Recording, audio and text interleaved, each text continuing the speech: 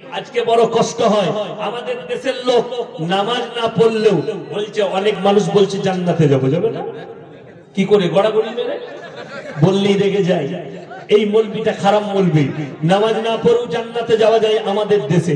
রোজা না রেখেও জান্নাতে যাওয়া যায়। কিন্তু মারামারি, শুনেলেন? নামাজ পড়ে না, রোজা রাখে না। দিনদারি নাই পরেশগারি নাই তাকুয়া নাই।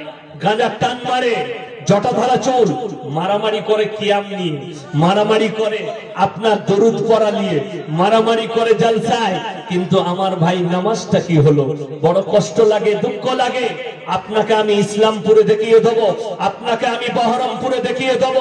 আসিকে রসুল বলে, আর বারোই রবিউল আউয়াল ডিজে বক্স লাগিয়ে, হিন্দি গান লাগিয়ে ড্যান্স করে। বড় কষ্ট লাগে এটাই। এরা আমার মুসলমান ভাই। এরা নিজেদেরকে আশিকে রসুল বলে। আমার বুঝা আছে না আশিকে রসুল কাকে বলে।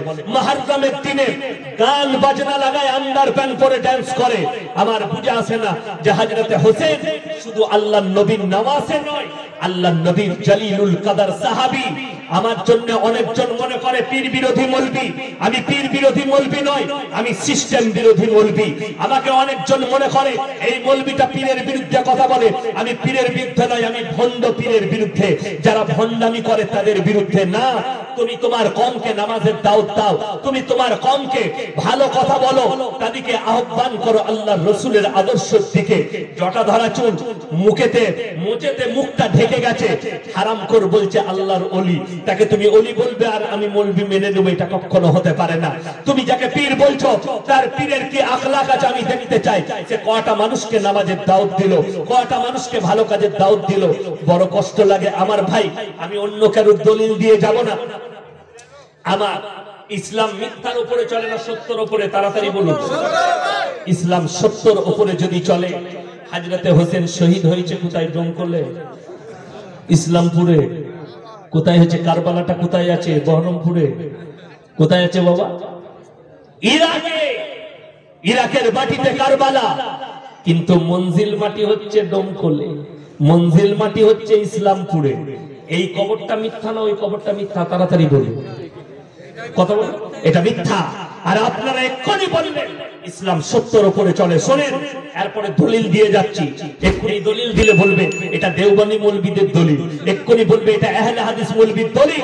আমি কারও দলিল দেবো না। আলা হযরত আহমদ রাজা খান, ফতোয়ায়ে রিজবিয়া নোট করুন।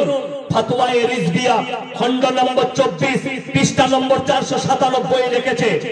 কারাচি থেকে ছাপা বইটা তিনি লিখেছেন ওইটার মধ্যে যে চোলক যারা মিথ্যা করে হাজরতে হোসেনের কবর তৈরি করে, মঞ্জিল মাটি করে, ফাতিহা করে দোয়া করে, জিয়ারত করে, এই সমস্ত কাজগুলো হারাম। তারপরের চ্যাপ্টারেই লিখেছেন, যদি কোনো মেয়ে মায়েরা কান খুলে শুনেন, কোনো মেয়েরা মাজারে যাওয়া তো দূরের কথা, যদি নিয়ত করে, সেটাও পাপ এবং হারাম।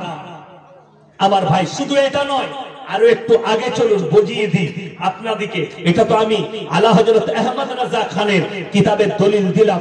আমি কোন দেওবন্দি মলবির কিতাবের দলিল দিইনি। আমি কোন হাদিস মলবির কিতাবের দলিল দিইনি যে বলবেন এগুলো কাফের। মোল্লা আশরাফ আলী থানভী রহমাতুল্লাহ আলাইহির নাম রেখেছে কাফের।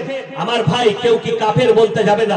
আলা হযরত আমি নাম নিলাম বড় আদব আর ইহতেরামের সঙ্গে। তিনি বড় আলেম ছিলেন। বড় আদব আর ইহতেরামের সঙ্গে আলা হযরত হযরত খাজা মঈনুদ্দিন চিশতি রহমাতুল্লাহ আলাই জবরদস্ত আল্লাহর ওলি। আপনি বলছেন খাজা বাবাকে ভালোবাসি। জিন্দেগিতে নামাজ পড়তে পারলেন না। আর খাজা মঈনুদ্দিন চিশতি রহমাতুল্লাহ আলাই 12 বছরের পর থেকে মৃত্যুকাল পর্যন্ত একদিনও নামাজ কাজা করেনি। জোরে বলুন 了. জুনেদ আহমদ আলাই তার আখলাক আর চরিত্র শুনলে আপনার মাথার ঘাম পায়ে পড়ে যাবে যে এরকম আখলাকি লোক ছিল, আপনার চোখ দিয়ে পানি আসবে যে এত দিলদার লোক ছিল, এত ছিল। আপনি যদি জুনেদ আহমদ শুনেন, আপনি যদি বরফির আব্দুল কাদের আলাই জীবনী শুনেন, আপনি দেখতে পাবেন আপনার জীবনে এক চুল পরিমাণ তার আখলাক নাই, তার চরিত্র নেই। আপনার নামাজ কোথা গেল? আপনি যদি বলেন, খাজা বাবাকে ভালোবাসি, আপনার সাহায্যতের নামাজ থাকতো তাহাজ্জুদটা বাদ দেন। আপনার পাঁচ ওয়াক্তের নামাজ থাকতো, আপনি নামাজ পড়েন না। বলেন, খাজা বাবাকে ভালোবাসি। কিয়ামতের দিনে খাজা বাবা ঝাঁটা মারবে তোমার মতো মুরিদকে ঝাঁটা মেরে সরাবে তোমার মতো মুরিদকে কান খুলে শুনে রেখে দাও। আমার ভাই, যদি মুরিদ হতে চাও, যদি বলো আশিকে রসুল, যেমন তুমি বউ পাগলা হও ওই রকম রসুল পাগলা হও। রসুলের হাদিস, রসুলের আকলাক আর চরিত্রের বাইরে যাব না। জটা ধরা চুল, আজকে দুঃখ লাগে, একটা বেকা গাছের নিচে দুটো ঘোড়া নামিয়েছে। মূর্তি ইসলামে জায়েজ না না জায়েজ? যদি না যায় হারাম হয়। একটা মাটির পুতুল, সেটা মূর্তি না মূর্তি লয়? একটা মাটির ঘোড়া, সেটা ঘোড়ার মূর্তি। সেটাকে রেখে সেখানে সিজদা করে, সেখানে সিল্লি দেয়, সেখানে মিলাদ করে সেখানে গিয়ে দাঁড়িয়ে বলছে, আল্লাহকে পেয়ে যাব, কিন্তু নামাজ পড়ে না। শুনে রেখে দাও, আজকে বলে, আমি মারিফত পেয়েছি, নামাজ মাফ হয়েছে, অনেকগুলো ভণ্ড পীর আছে, তারা বলছে, মারিফতে আমার নামাজ মাফ হয়েছে, সেই হারাম করকে শুনিয়ে দেবে। তাহলে রসুলের হাদিস শুনে নাও, বুখারী শরীফের, আমার নবী বিশ্ব নবী, শেষ জিন্দেগি, শেষ ওয়াক্তের নামাজ, তারপরে আর দুনিয়ার বুকে নামাজ পড়েননি। দুজন সাহাবীর কাঁধে হাত লাগিয়ে, পা দুটো ছেঁচুড়ে ছেঁচুড়ে নবীজির গেল। নবীজিকে নিয়ে গিয়ে মসজিদে নবীতে দাঁড় করালেন। নবীজি নামাজ আদায় করেছেন, নবীজির নামাজ মাফ হয়নি। আর তুমি ভণ্ড পীর, তুমি বলছো, মারিফত পেয়েছে, আমার নামাজ মাফ হয়েছে। মারিফত বললে তাকে ছাঁটা আর জুতো মারুন। আমার ভাই শুনে রেখে দেন, কান খুলে শুনবেন। ইসলামে এত সুন্দর আদর্শবান যার নামাজ নাই, আমার নবীজি বলেছে, তার ইসলাম নাই। তুমি মাজারে বসে আছো, তোমার নামাজ নেই। বড় কষ্ট লাগে। আমার ভাই, আপনাদের দেশে এই হেতানপুরে দমকল এলাকায় কেউ মরে গেলে, স্বামী মরে গেলে স্ত্রী কবরস্থানে যাইতো? যেতে পাবে? আমি শুনতে পেলাম না, আরও জোরে বলুন, যেতে পাবে? যেতে পাবে না।